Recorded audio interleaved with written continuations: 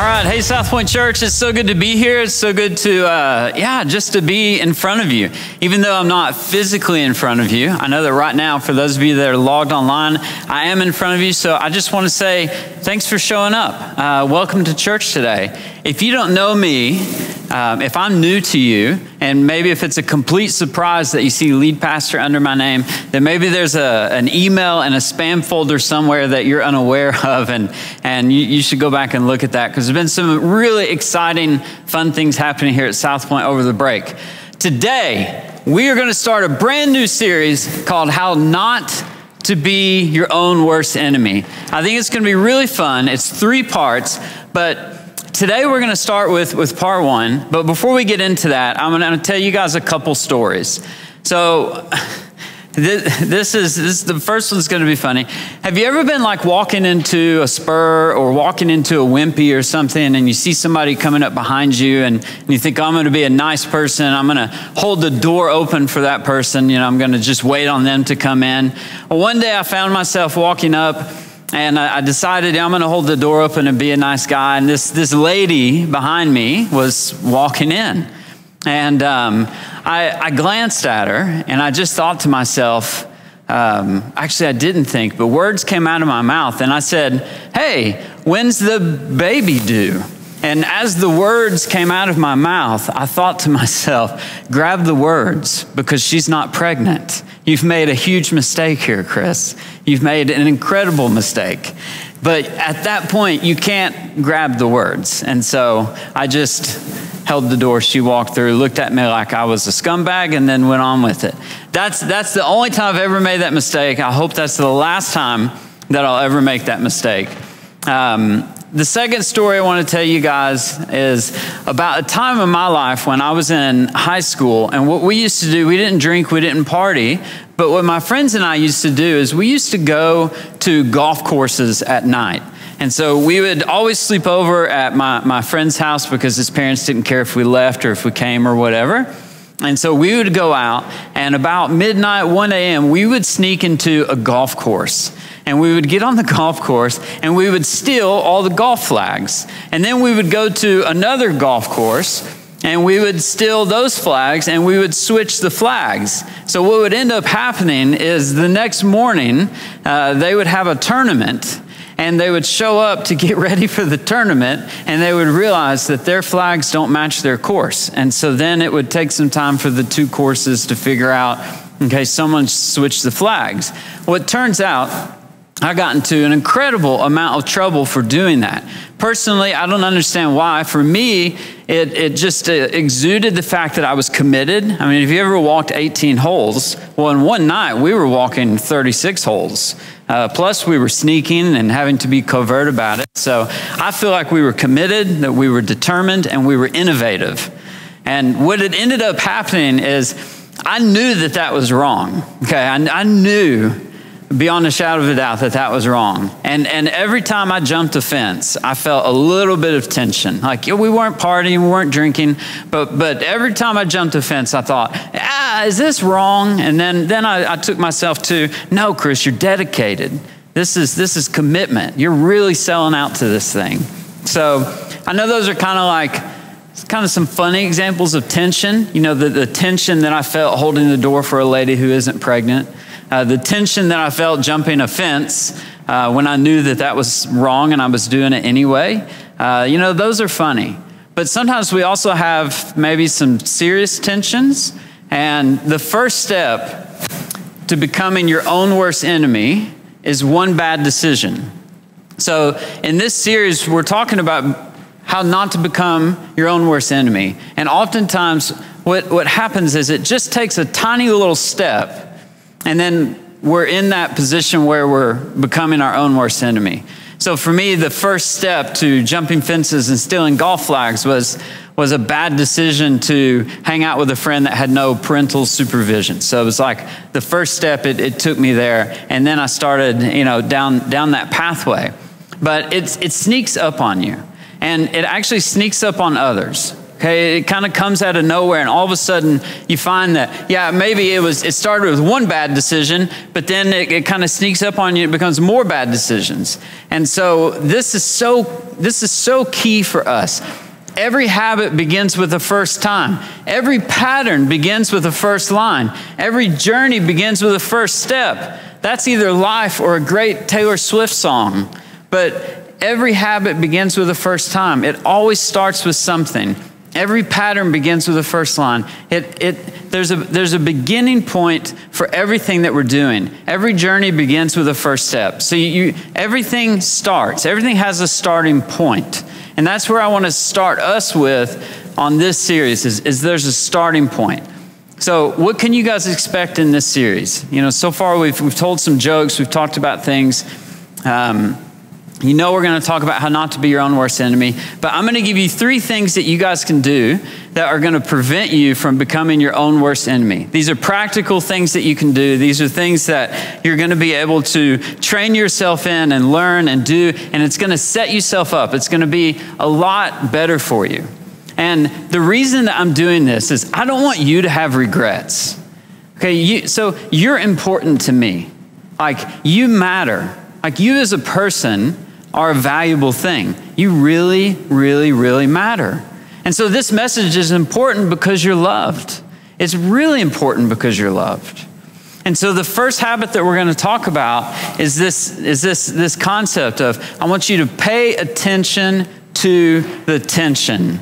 So now maybe all those other uh, stories that I told make sense. As I was maybe jumping a fence, I should have paid attention to that tension. And so, what else does this look like? What does it look like to pay attention to the tension? What it looks like is when you're doing something and you know it's wrong, and you kind of start to feel that like that gut feeling that's like, oh man, maybe I shouldn't do that. That's that little bit of, of tension that starts to build when, when you're about to spend money on something and all of a sudden you're like, ah, you know, credit card, reality, things like that, it's like, what, you know, the, the tension starts to build in you. And instead of just saying, no, I'm going to do it anyway and deal with it later, what, what we want to do is we want to pay attention to that tension. But what happens is you start to develop the tension okay? It comes. So you know that you shouldn't spend that money. You know you shouldn't do that thing. You know that, that what you're doing is giving you a little bit of like the, the heebie jeebies. So the tension is building, it's building.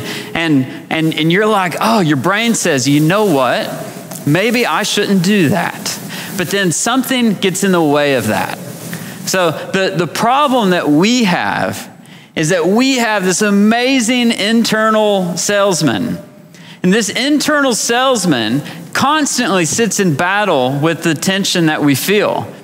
So, I mean, it's, and this internal salesman is the best salesman that you'll ever know, okay? Because they're so good at selling you on things that you know you shouldn't do. So, to, to exemplify this, or to, to bring you guys an example, we're going to play a little bit of a game.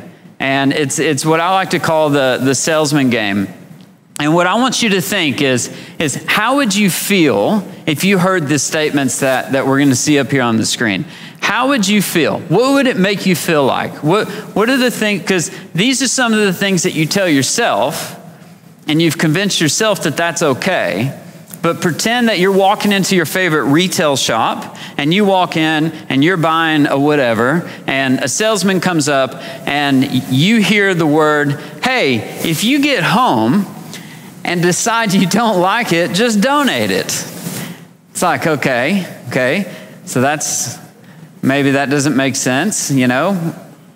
Hey, I see that you already have one of these things that already does everything that this one does, but this one is newer, so go ahead and spend that money. That's a favorite one of mine. I love this one right here. My internal salesman can convince me of this right here um, to buy almost anything. This is why I don't go to Woolworths. When we do our grocery shopping, Casey goes to Woolworths because otherwise my internal salesman says, no, you can come home with new shiny things. So, yes, you have cereal, but this other cereal is better. So that's why Casey does the shopping. Um, I think we've got another one that'll come up here. Uh, this is a good one. Yes, sir. Wrong, wrong, wrong. This is wrong. So just don't tell anyone. I mean, that, that's a bit of a harsh one, but our internal salesman does that. Sometimes we tell ourselves, hey, wrong, wrong, wrong, wrong, wrong. Ah, just don't tell anybody about it. You know? So another one could be sure, your husband would be hurt and offended if he found out, but your husband isn't bright enough to find out. You're good. You're in the clear. You can do that. Yes, your girlfriend would be devastated, but let's face it, she's not nearly as attractive. That one actually is like hard for me to say out loud uh, because I just I can't handle the idea of hurting somebody like that. But some of us out there, guys, we, we have this voice in our head. This internal salesman says, no, it's okay for you to do that. So what we do is we take our own self and we convince ourselves of these things. It's amazing that, that we can get ourselves to do the things that we would otherwise never do. Things that we would think are just absolutely crazy. If you fast forward through your decisions and you think, oh my goodness, I would never do that. But if you go through the process that the internal salesman takes you through, and you don't pay attention to your tension, then all of a sudden you find that you're doing things that you would have never thought that you would do. How easy are we convinced by what goes on in our thoughts because we ignore what goes on in our heart that we find ourselves doing this when we would have otherwise never thought that we would have done it. So, yeah, I mean, it's, it starts with some funny stories, and we all have those funny stories. You know, we, we all have those.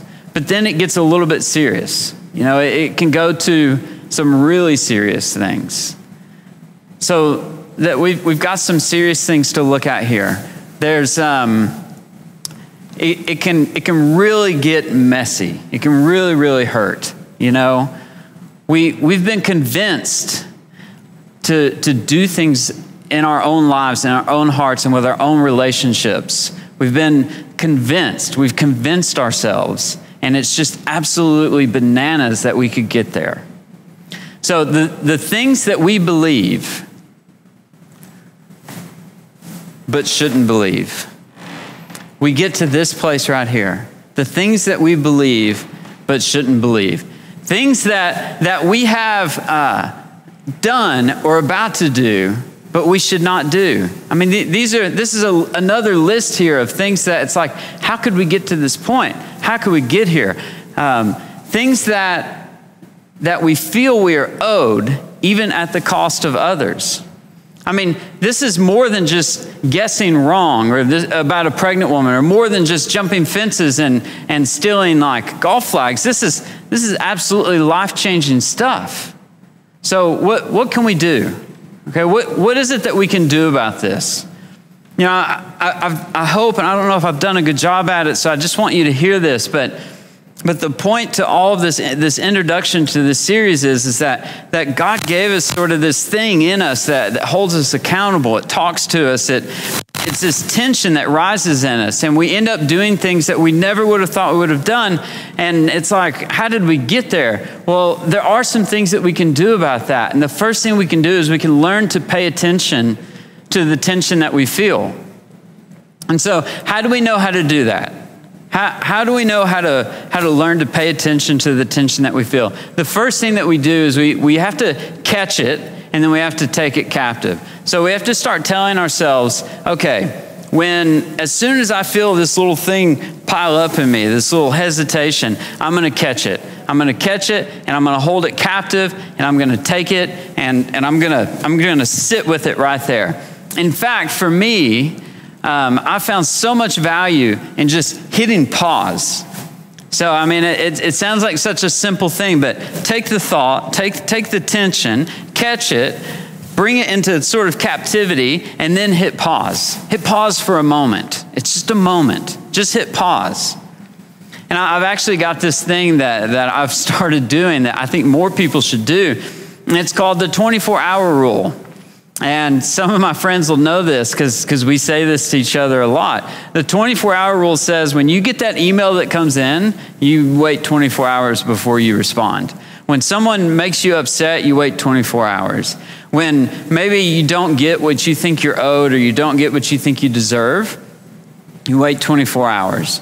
When, when you want to uh, go spend money, when you want to buy that new product or, or do that new thing, give it, just pause, listen to the tension, and then give it 24 hours. The 24 hour rule. Because, see, the purpose to the pause, the purpose and the reason that we're pausing is, is it's, the, it's the pause that we learn to pay attention to the tension. It's in the pause that we learn to pay attention to the tension. In the pause, we put a stop to our old behavior and patterns and give new behavior and patterns a chance. If we never pause, then we never get this we never get this chance. You know, there's there's so many scenarios and situations where a pause is like an awkward thing. Like it, it feels awkward.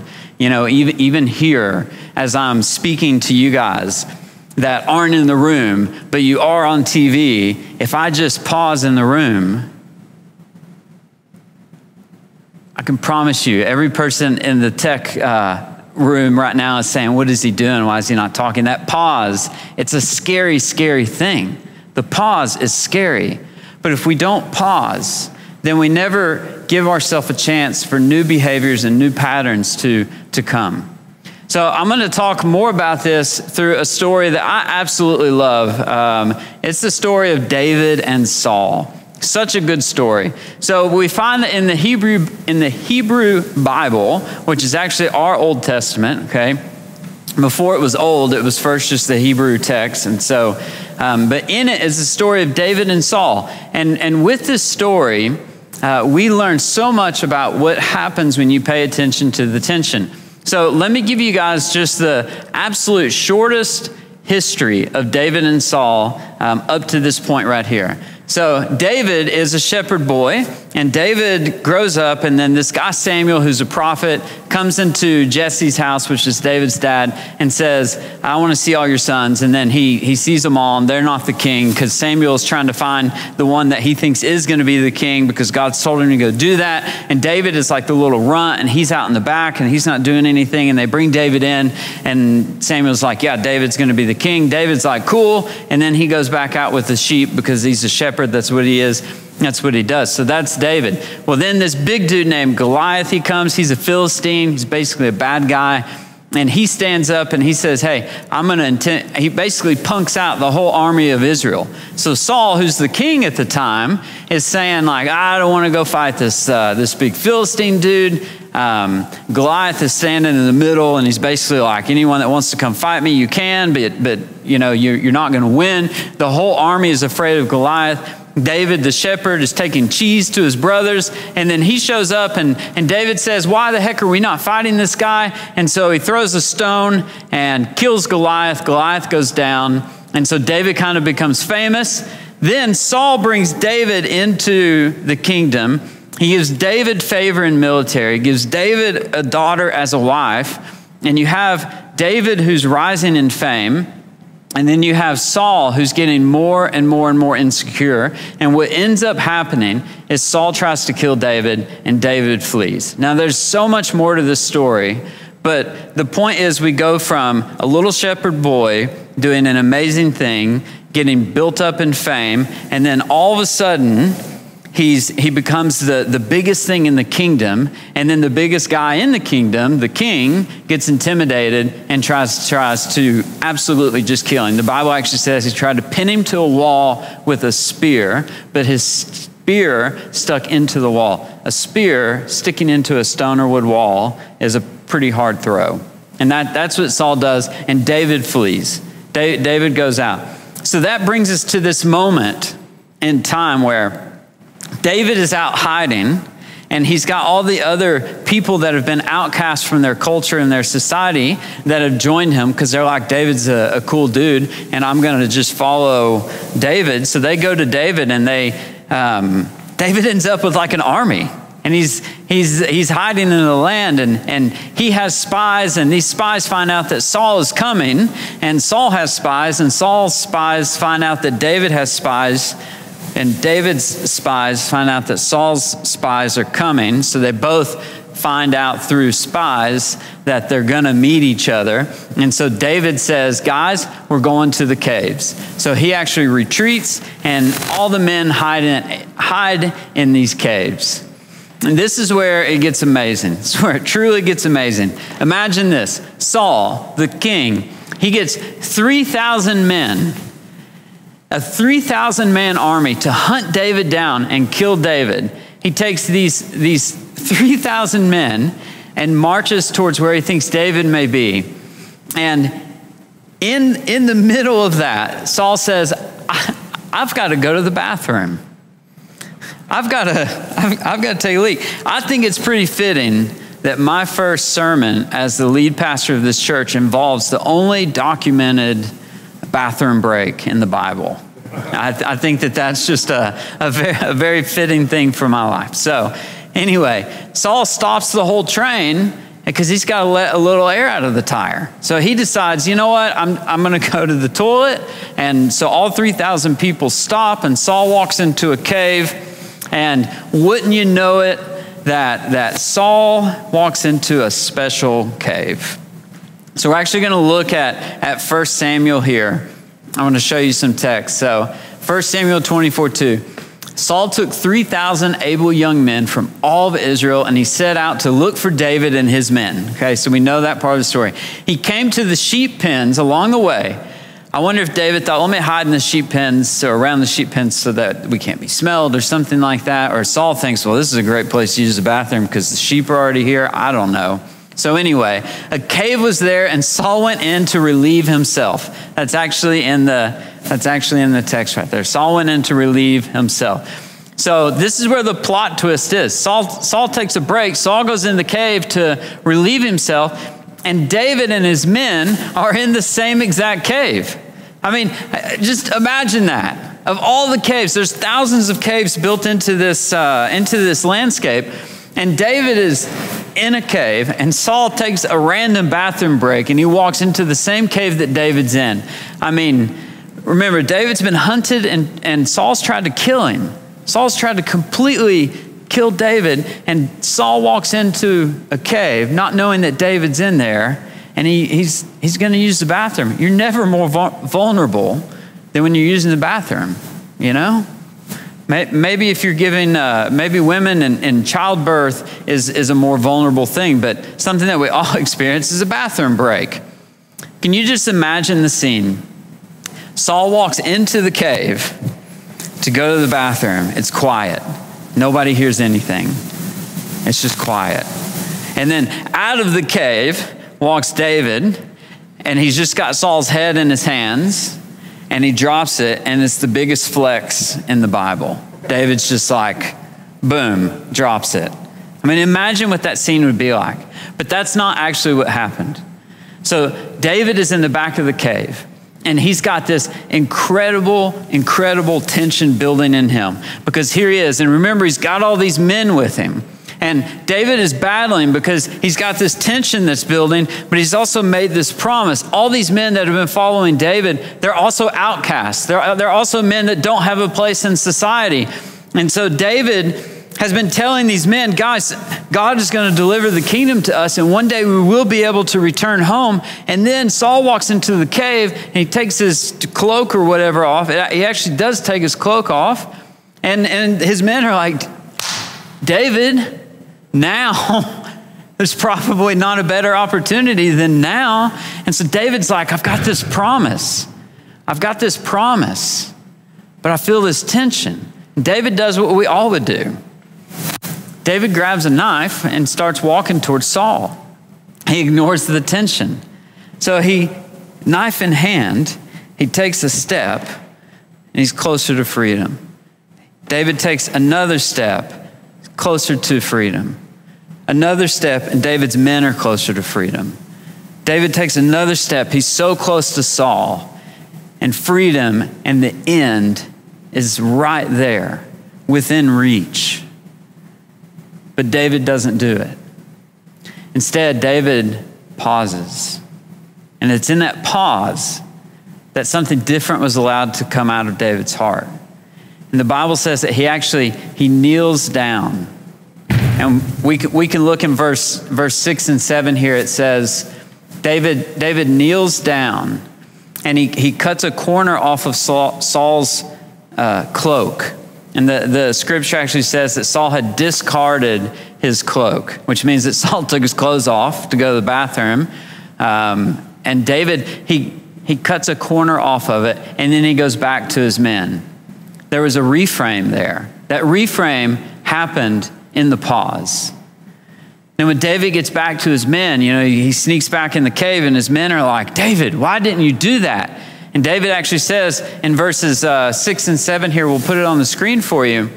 He says to his men, The Lord forbid that I should do such a thing to my master, the Lord's anointed. How many of us can say that about a bad boss? Well, David is saying it about a king that tried to kill him. David goes on to say, With these words, David sharply rebuked his men and did not allow them to attack Saul.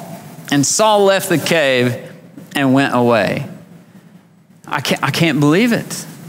David, his men were probably just like, What are we doing? Why are we following you? What happened? You were right there. All you had to do is stab him. Things over. Things, life is done.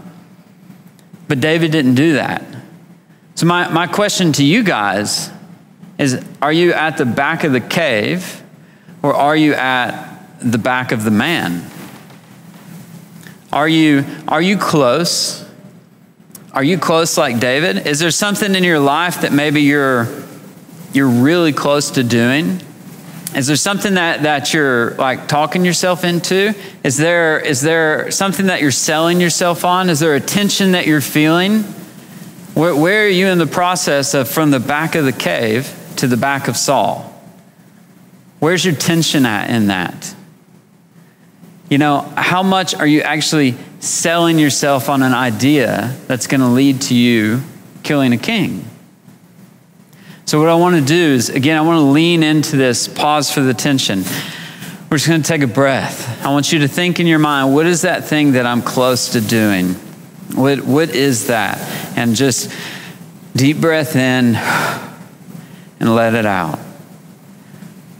We just took a pause and, and no, one, no one died. We just took a pause, we took a break. It's time that we hit pause and we actually stop selling ourselves. And then we start listening. So when David hit pause and stopped selling himself on what he wanted to do, he allowed himself to listen to that still small, quiet voice that was speaking to him. You, you know what that is? That's like our gut. That's like our internal gut. Like, are you listening to your gut and that, that thing that, that you're close to doing, that thing that you, you struggle with, where maybe it's finances or maybe it's um, uh, the way you treat your wife or the way you treat your husband, or maybe it's uh, your thought life, or maybe it's the, the fact that you hate your boss, or whatever it is, this tension that, that's building and your gut feeling that's telling you, like, no, this is wrong. The way you talk to your mom is wrong. The way you haven't called your dad is wrong. You got this, this gut feeling that's building, that's building, it's building. And, and what are we doing? Are we taking our, our tensions and we're just pushing those aside? Are you, I want you to ask yourself, that thing, whatever it is, are you really ready to do that? Are you really ready to kiss her? Are you really ready to let go of that marriage? Are you really ready to whatever it is? Whatever happens in your day, maybe it's something as simple as, hey, it's bedtime. Are you, are you really going to eat that spoon of peanut butter? You know, it's not about the calories. Sometimes it's about how much you hate yourself. Are you, are you really going to self loathe in what you eat? Are you really, uh, with the spoon there? I mean, this may seem silly, but to a lot of people out there, you know, this guy included, this, this, is, this is as real for everyone as it is for anyone else. Are you ready? You know what? You don't have to do that. You can just take a breath and just hit pause. If we can just hit pause, we can, we can listen to God's voice. We can listen to maybe you don't know God, maybe you're not a Christian, but you still feel tension because you're a human. And when you hit pause, maybe you hear this little whisper. Well, let me tell you what that little whisper is. You think it's your gut. You think it's maybe just like this innate, like right and wrong that you have, but it's not. It's actually, it's actually God's whisper because God's for you. So, so in that in that gut feeling, in that tension that's rising, God may actually be keeping you from becoming your own worst enemy. So let's let's go back to the story. Let's go back to this. So Saul, remember, Saul walks out of the cave. David's men are like, "What did you? Why did you not do that?" David rebukes him, and this this is amazing. Saul walks out of the cave, no clue. I mean, just imagine him kind of like hiking his pants up or his cloak up a little bit, and he's like, you know, I mean, obviously COVID wasn't around then, so there's no like uh, squirt sanitizer that he's walked up to. But he walks out of the cave and he's walking down to the men, and all of a sudden, Saul hears this. It's probably, it had to have been a nightmare. This voice, this voice that comes comes out of the cave. Saul, hey Saul. Saul thinks, why, why on earth do I know that voice? And he pauses and he thinks, How on earth could I be hearing that voice? Hey, Saul! Saul turns around. Guess who's standing there? David's there. Then David, he gets, he gets down on one knee. He doesn't say, Hey, I, I told you so, or Hey, I got you. He gets down on one knee and he assumes a position of humility. And he, he holds out his hand and he opens his hand, and in his hand is the piece of Saul's cloak, the piece that he cut off. And right then and there, in that moment, every single person in that army, all 3,000 men, they knew who the better man was. They knew that it wasn't Saul, that it was David. So David declares that Saul is going to be uh, unharmed.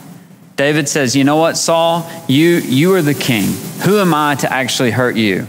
Who, who am I to actually be able to do that? So if we look at 1 Samuel verse 12 here, David says to Saul, he, so he rises up with the cloak in his hand and he says, May the Lord be the judge between you and me. May the Lord avenge the wrongs you have done to me, but my hands will not touch you. So David says, I'm doing the right thing here. I, am doing the right thing. And, and Saul's bad behavior is no excuse for me to have bad behavior. Saul's bad behavior, trying to stick me with a spear, does not give me an excuse to stick Paul or to stick Saul with a knife. So, how many of us are looking at, hey, I'm going to do this thing that I'm going to do because they've done this or that? Someone else's bad behavior doesn't actually excuse you from your bad behavior. Bad behavior is bad behavior. It doesn't matter. It, it, just it doesn't matter. It's bad behavior. And David recognized that. And he recognized that when he paused and he paid attention to the tension. So, so what I would ask you guys is, is are you close? How, how close are you? How close are you? Because are, are you close because he, he got what they don't deserve or because she did what she, what she shouldn't have done or, or because he did this to me or she did that to me or because of this or because of that or because, because, because, because, because. Is, has that brought you to a point where you're close? You know, considering, is it making you consider an action that you maybe wouldn't take? All the becauses? When we look at the story of David, David didn't let any of the becauses actually make him or give him the right to, to take an action that he shouldn't have done. So, all, all eyes now, we'll go back to the story. All the eyes are on David. Everyone's looking at David. And Saul's just been served this huge, humble serve. And Saul he wasn't humiliated by the fact that David was an amazing warrior. Saul was humiliated by David's character and his humility. Saul was, was absolutely humiliated by David's ability to give tension a voice. So, David, he paid attention to the tension. He hit pause and he defeated a king. Saul turned and left. Now, now that's power. David defeated a king because he paused, and Saul turned and left. So I, I want to close with this. I, I, feel like this. We've been on a we've been on a journey together. We've, we, we have you know laughed and told funny stories. We've talked about tension and David and all that stuff. But the most important thing that I want you to get from this is is where do we find Jesus in this, and where are you in this? Because, see, here at, at Southpoint Church, we're all about Jesus. Whether you know Jesus or you don't know Jesus, we're all about Jesus. And, and I want to make sure you know exactly where you can find Jesus in this story. So, like, like for you, are you David? Are you Saul? Are you one of David's mighty men who are saying, "Hey, David, let's let's kill this dude. Let's do this thing"? Are you at the back of the cave, or are you standing at the back of the man, giving pause, paying attention to the tension?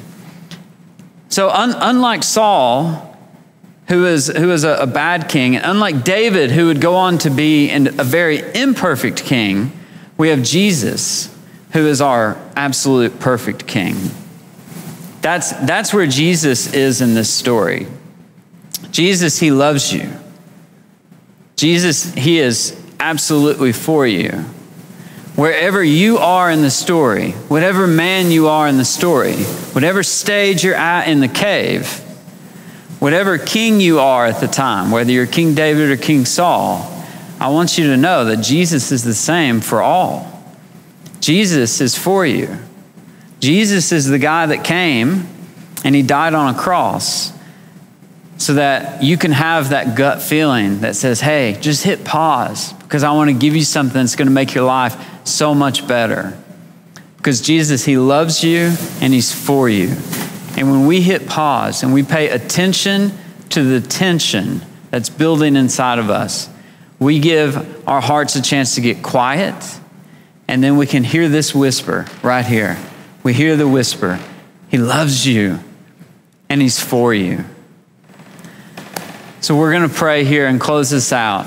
Um, I think it's really important that if this has made any impact on you, if this is, has uh, resonated with you in any way, whether you're saved or not saved, whether you're a Christian or not a Christian, it doesn't matter. You're a person.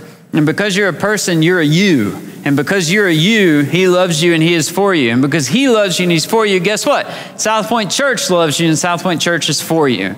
So uh, we just want you to know you're important. Whatever it is that you're feeling, whatever it is that you're going through uh, as you listen to this sermon, please reach out. You can catch us on social media. You can send us an email. You can, you can send me an, an email, chris.ladd at southpointchurch.co.za. Um, I would be absolutely happy to walk with you through whatever journey you're going on. Um, so, yeah, next week we're going to go through part two of this. I'm going to give you guys the second habit and uh, I'll be excited to see you there. So let me pray and close this out. Heavenly Father, thank you so much for um, the story of you being a perfect king. Thank you so much, Father, for the um, yeah, just the chance and opportunity to be loved by you. Thank you that you put tension in us because it causes us to pause and it's good for us. It keeps us from doing things that would otherwise lead us into places where we would get in trouble, we would get hurt, or we would get broken. So, Father, I pray for everyone that's heard this message. I pray, Lord, that they give pause to the tension. And in that pause, Jesus, I pray that you just explode with grace and loving kindness and wisdom all over their lives. We pray this in Jesus' name. Amen. Hey, Southpoint Church, thank